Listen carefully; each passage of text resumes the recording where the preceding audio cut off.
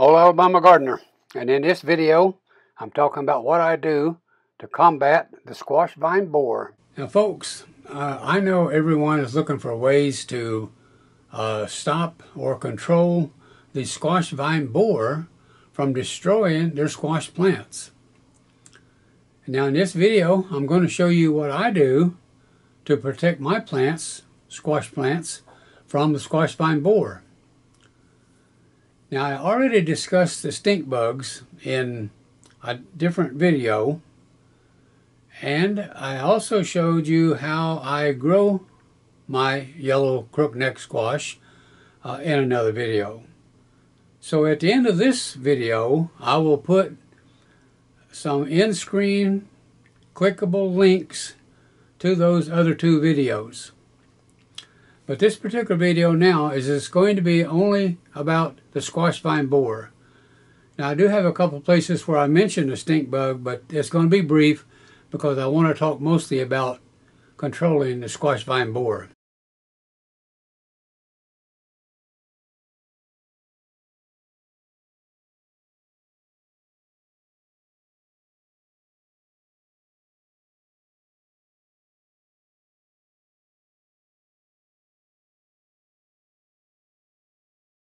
Now, some of you still think that the stink bug is what kills your squash plants, but that is not true.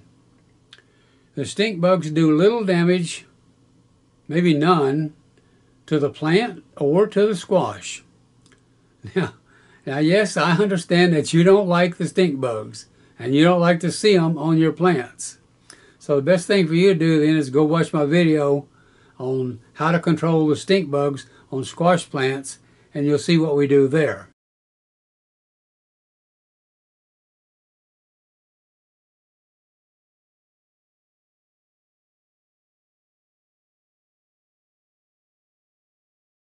Now I do want to make one point about the stink bugs. If you think you are going to save your squash plants by killing the stink bugs, then I can pretty much promise you that you will lose your squash plants because you will be attacking the wrong reason, the wrong cause of why your squash plants are dying.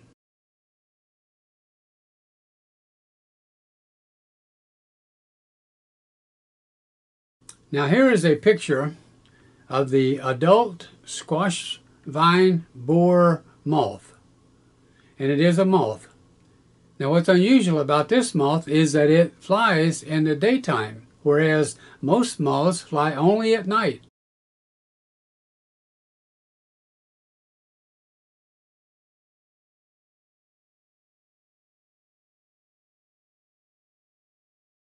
So how does this moth do its damage?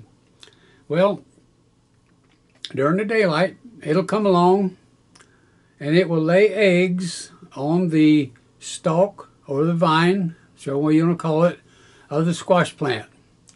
When those eggs hatch, the worms or worms, there's more than one, will chew its way into the inner part of the stalk and begin eating the soft inner core of the stalk.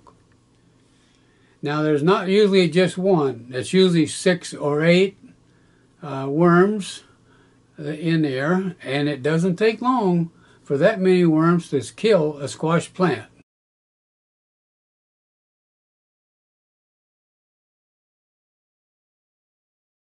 Now here's a picture of the worm inside the stalk plant.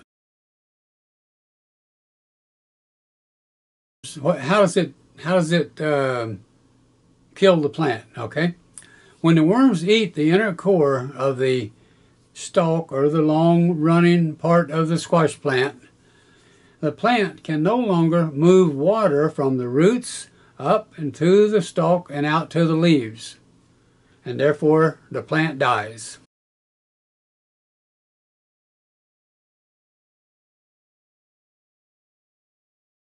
Now the plants you see here are, are pretty large. And I do that for a reason.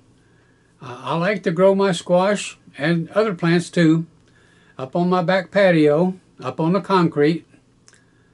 And uh, then when they get longer, like you see them here, I can I can apply my squash vine borer control process and take them out to the big garden and be ready to set them in the garden.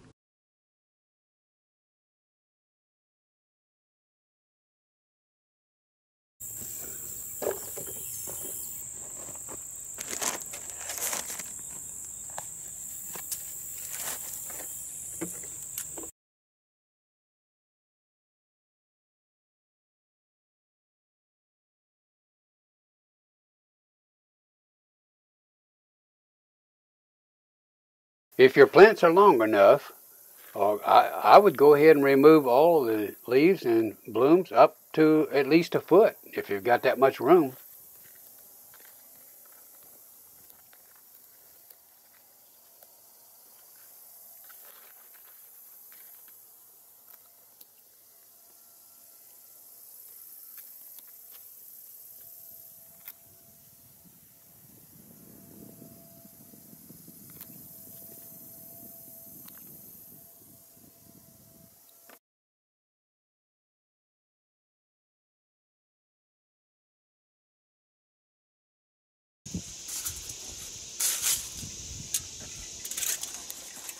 Now you don't need to wrap it too tight because as the plant grows that uh, stem is going to to get a little bit larger uh, but wrap it secure enough that the aluminum foil covers all the stem uh, and there are no open places uh, for the squash vine borer to get to the stem.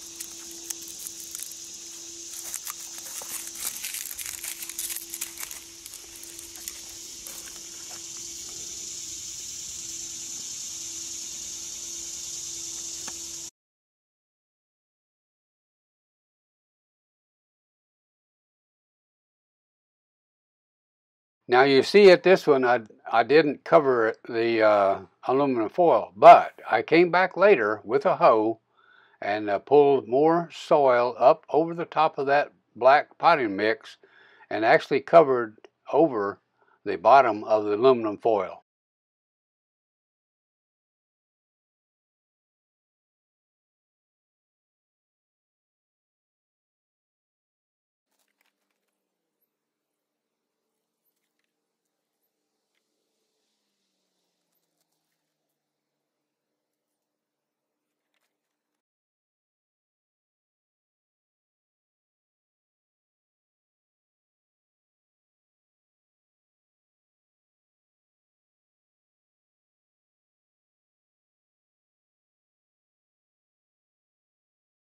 So here's my row of squash plants.